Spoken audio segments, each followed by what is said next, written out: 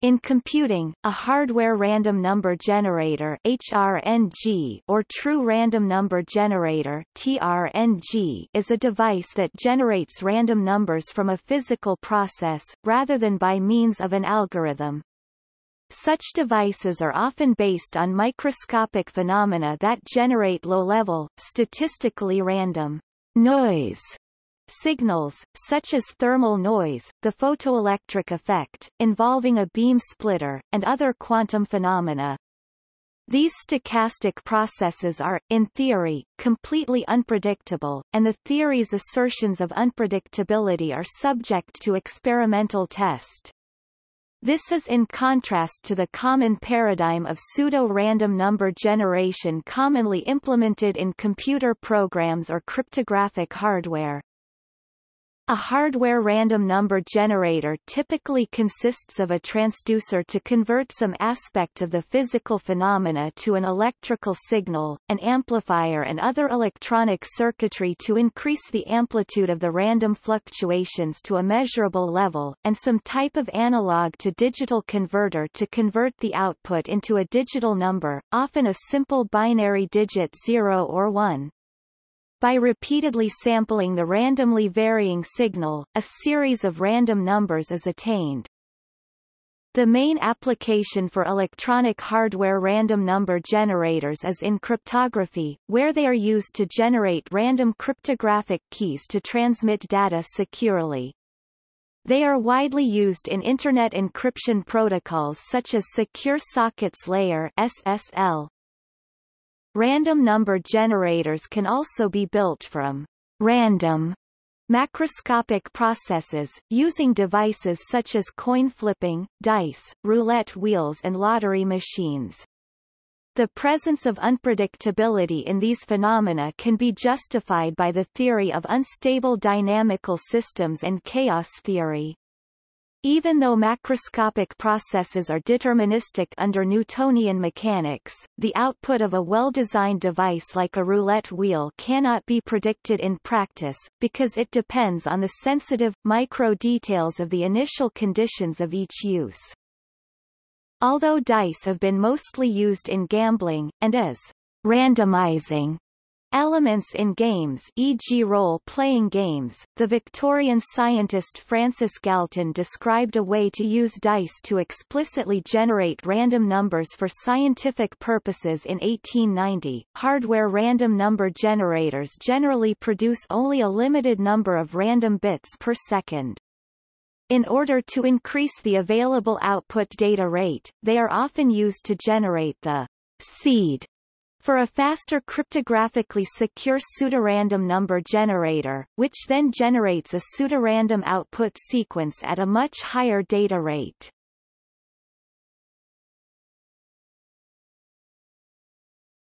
Topic. Uses Unpredictable random numbers were first investigated in the context of gambling, and many randomizing devices such as dice, shuffling playing cards, and roulette wheels, were first developed for such use.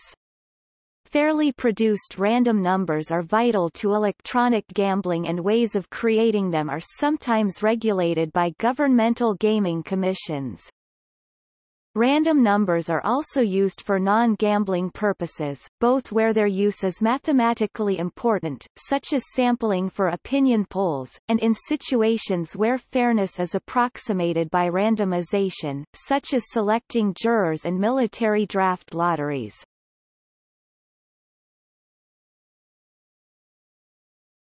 Topic. Cryptography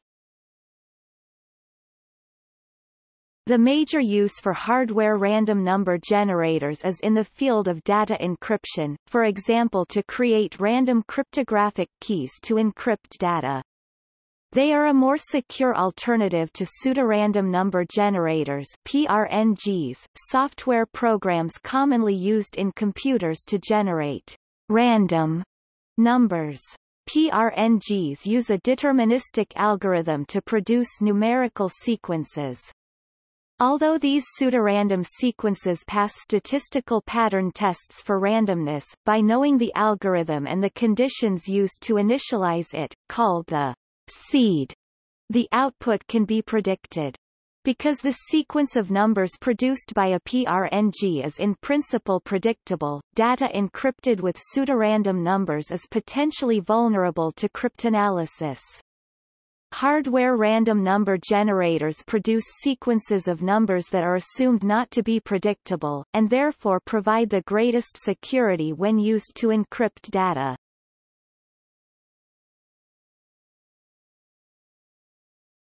Topic.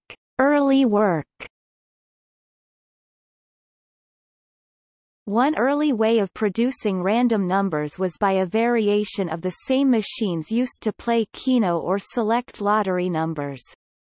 These mixed-numbered ping-pong balls with blown air, perhaps combined with mechanical agitation, and used some method to withdraw balls from the mixing chamber U.S. Patent 4786056.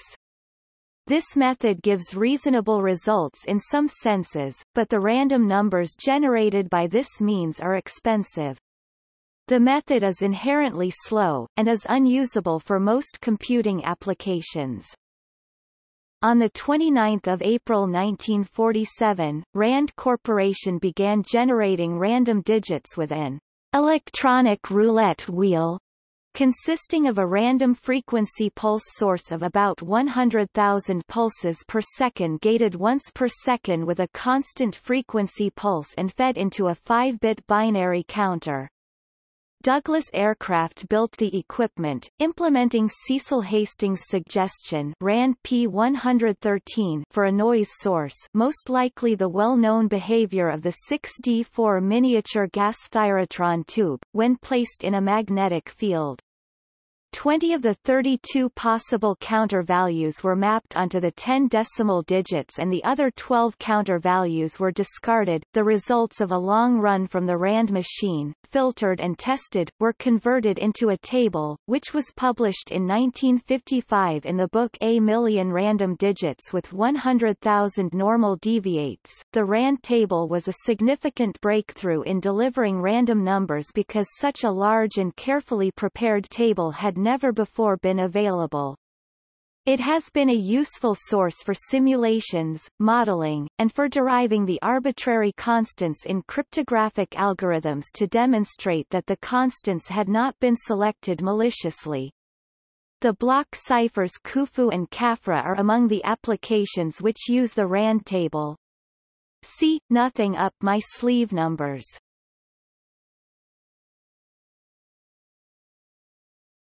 Topic. Physical phenomena with random properties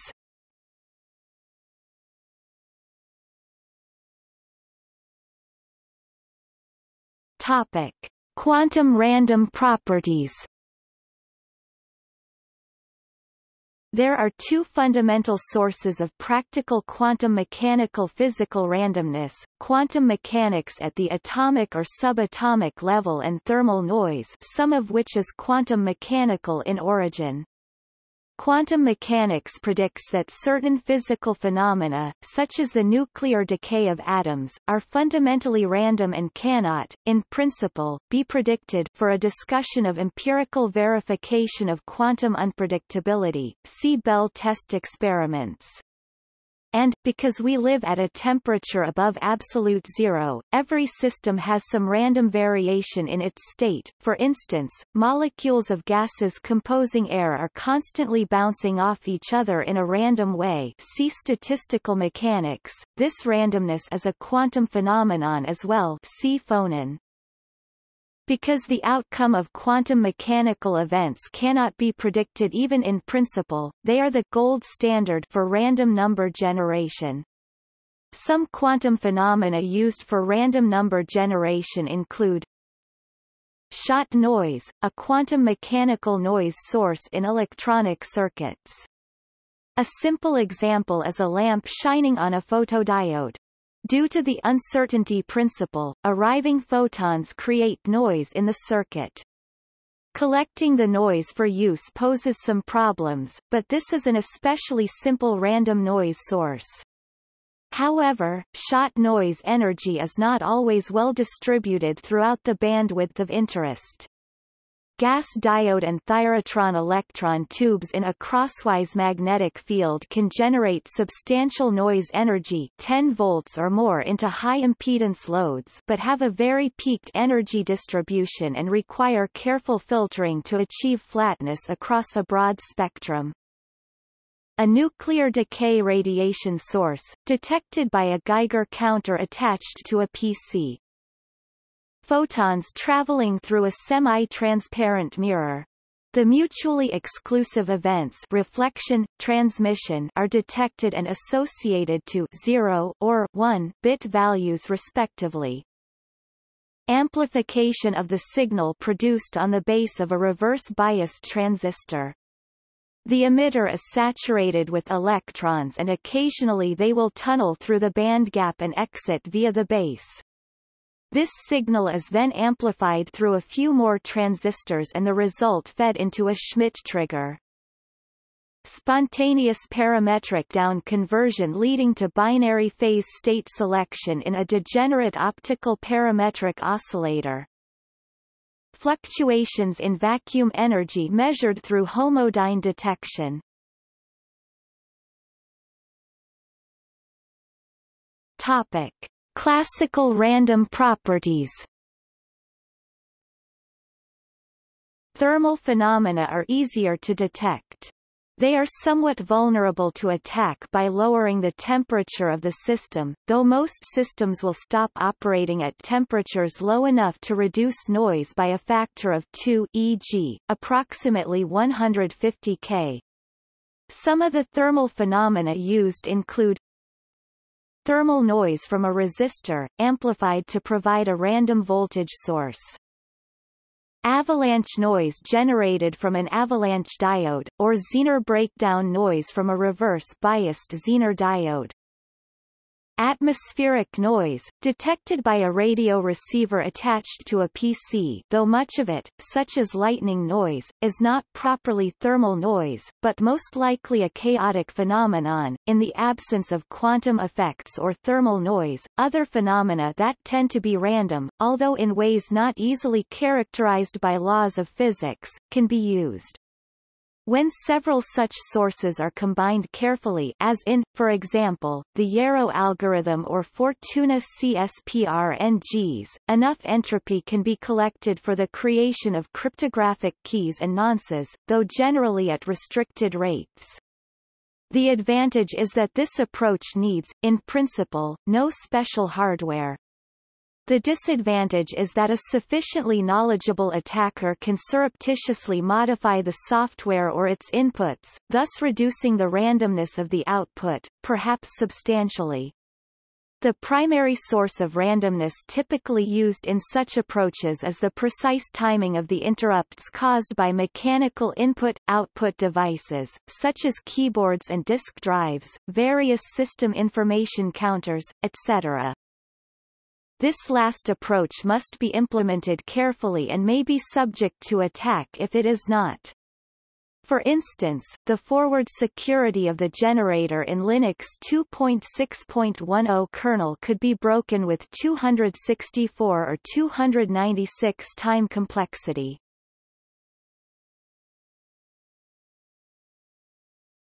Topic: Clock drift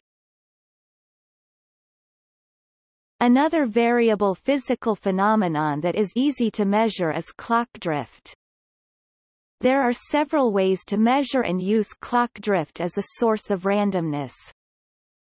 The Intel 82802 firmware hub FWH chip included a hardware RNG using two free-running oscillators, one fast and one slow.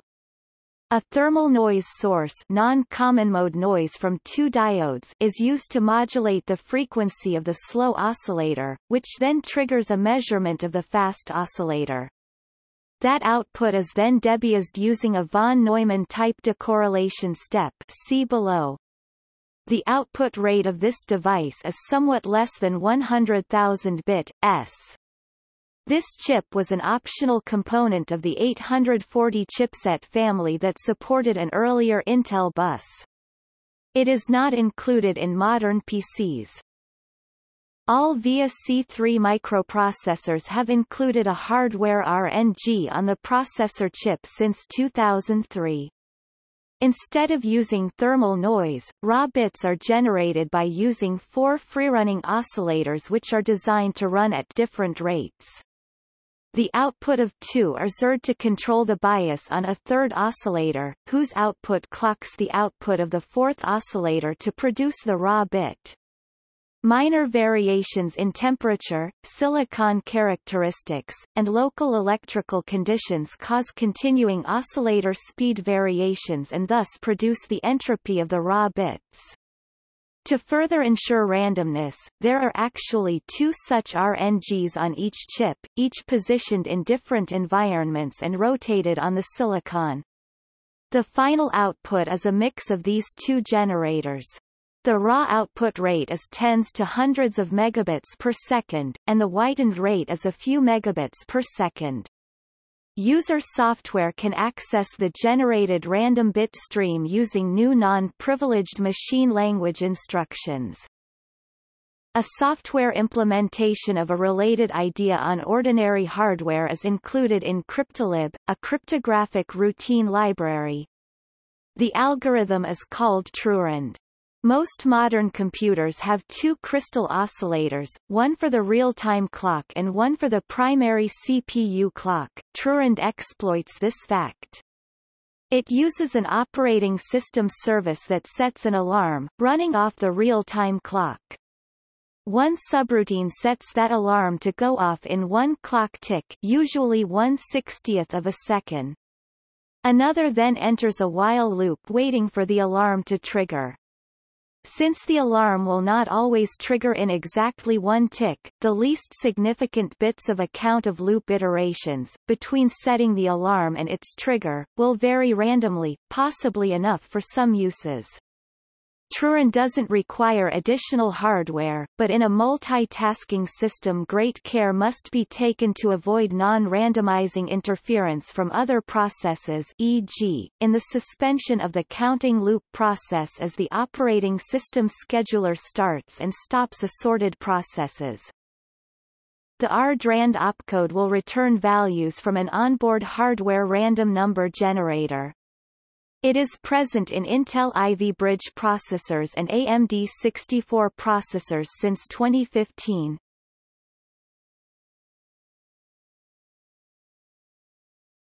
Topic. Dealing with bias The bit stream from such systems is prone to be biased, with either ones or zeros predominating. There are two approaches to dealing with bias and other artifacts. The first is to design the RNG to minimize bias inherent in the operation of the generator. One method to correct this feeds back the generated bit stream, filtered by a low-pass filter, to adjust the bias of the generator. By the central limit theorem, the feedback loop will tend to be well adjusted almost all the time. Ultra-high-speed random number generators often use this method. Even then, the numbers generated are usually somewhat biased. Topic. Software whitening A second approach to coping with bias is to reduce it after generation in software or hardware. Even if the above hardware bias reduction steps have been taken, the bit stream should still be assumed to contain bias and correlation. There are several techniques for reducing bias and correlation, often called whitening algorithms, by analogy with the related problem of producing white noise from a correlated signal. There is another way, the dynamic statics test, which makes a statics randomness check in each random number block dynamically. This can be done usably in a short time, 1 gigabyte per second or more. In this method, if one block shall be determined as a doubtful one, the block is disregarded and cancelled. This method is requested in the draft of ANSI X9F1. John von Neumann invented a simple algorithm to fix simple bias and reduce correlation. It considers two bits at a time non-overlapping, taking one of three actions. When two successive bits are equal, they are discarded. A sequence of 1, 0 becomes a 1, and a sequence of 0, 1 becomes a 0. It thus represents a falling edge with a 1, and a rising edge with a 0. This eliminates simple bias, and is easy to implement as a computer program or in digital logic. This technique works no matter how the bits have been generated.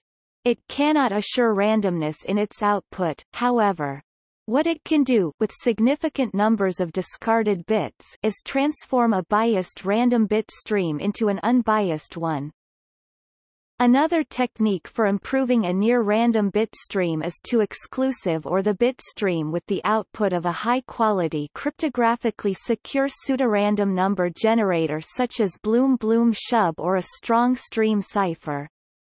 This can improve decorrelation and digit bias at low cost. It can be done by hardware, such as an FPGA, which is faster than doing it by software. A related method which reduces bias in a near-random bit stream is to take two or more uncorrelated near-random bit streams, and exclusive or them together. Let the probability of a bit stream producing a zero be 1 half plus e, where minus 1 half e 1 half. Then e is the bias of the bit stream.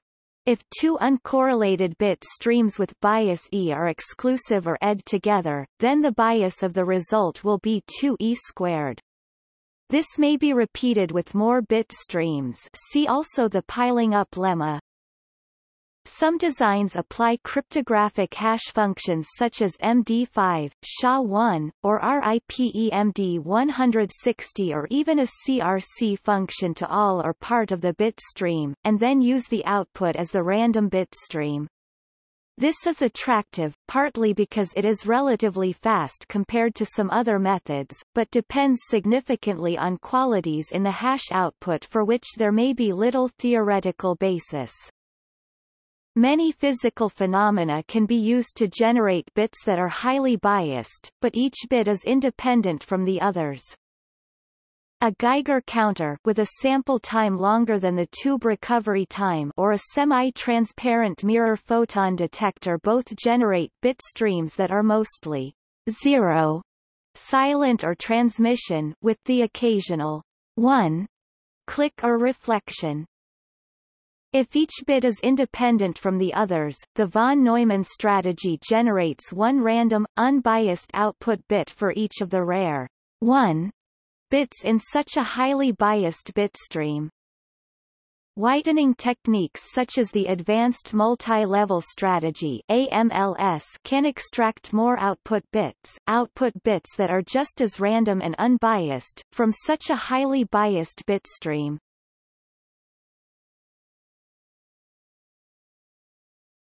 Topic: PRNG with periodically refreshed random key. Other designs use what are believed to be true random bits as the key for a high-quality block cipher algorithm, taking the encrypted output as the random bit stream. Care must be taken in these cases to select an appropriate block mode, however. In some implementations, the PRNG is run for a limited number of digits, while the hardware generating device produces a new seed.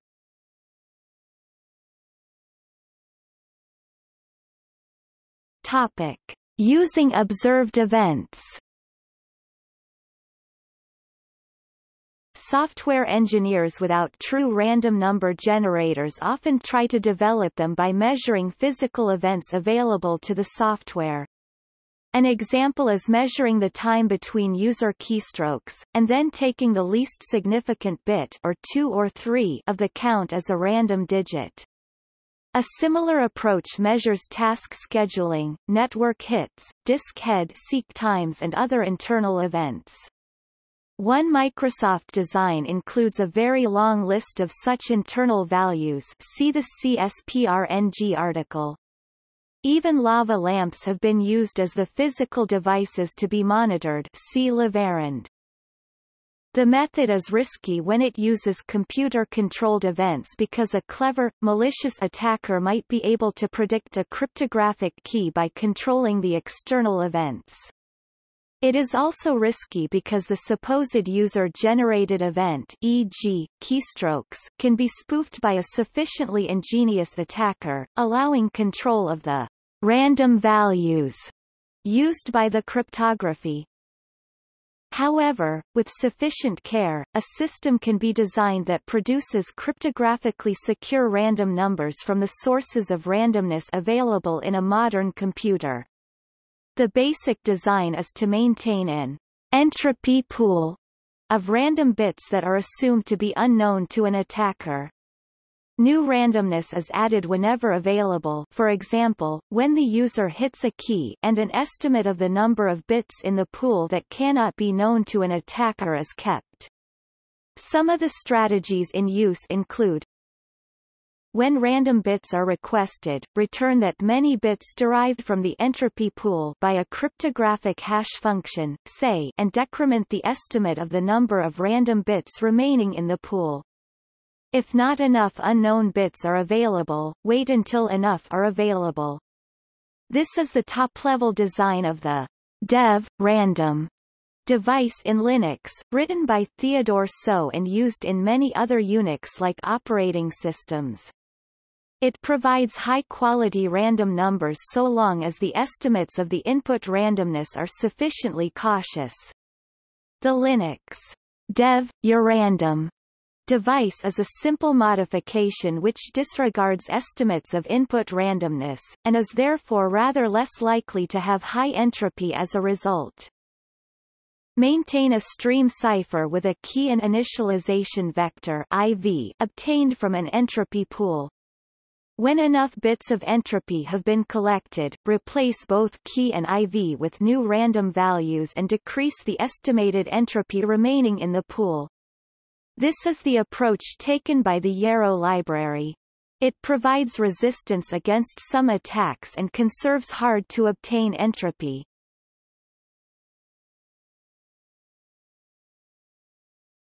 Topic. Problems It is very easy to misconstruct hardware or software devices which attempt to generate random numbers. Also, most break silently, often producing decreasingly random numbers as they degrade.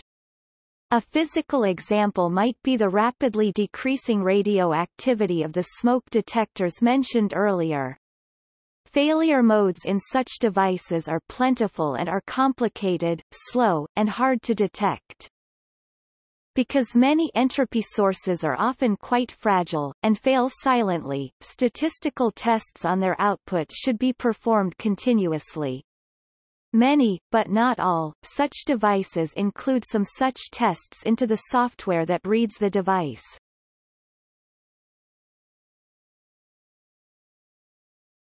Topic. Attacks Just as with other components of a cryptography system, a software random number generator should be designed to resist certain attacks.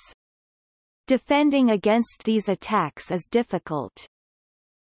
The random number generator used for cryptographic purposes in version 1.1 of the Netscape browser was vulnerable, and was promptly fixed in version 2.0.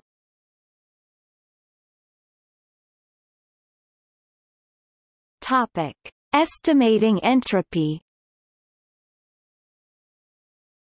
There are mathematical techniques for estimating the entropy of a sequence of symbols.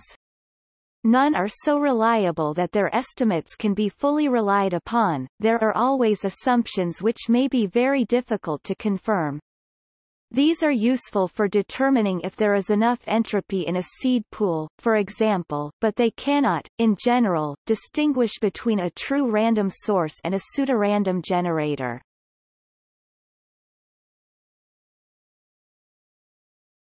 Topic. Performance test Hardware random number generators should be constantly monitored for proper operation. RFC 4086, FIPS Pub 140-2 and NIST Special Publication 800-90b include tests which can be used for this. Also see the documentation for the New Zealand cryptographic software library CryptLib. Since many practical designs rely on a hardware source as an input, it will be useful to at least check that the source is still operating. Statistical tests can often detect failure of a noise source, such as a radio station transmitting on a channel thought to be empty, for example. Noise generator output should be sampled for testing before being passed through a whitener. Some whitener designs can pass statistical tests with no random input. While detecting a large deviation from perfection would be a sign that a true random noise source has become degraded, small deviations are normal and can be an indication of proper operation. Correlation of bias in the inputs to a generator design with other parameters e.g., internal temperature, bus voltage might be additionally useful as a further check. Unfortunately, with currently available and foreseen tests, passing such tests is not enough to be sure the output sequences are random. A carefully chosen design, verification that the manufactured device implements that design and continuous physical security to ensure against tampering may all be needed in addition to testing for high-value uses.